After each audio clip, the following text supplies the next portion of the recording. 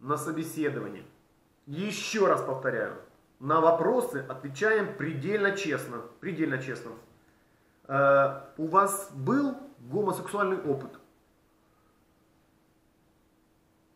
Ну, однажды я перестроился, не включив поворотник.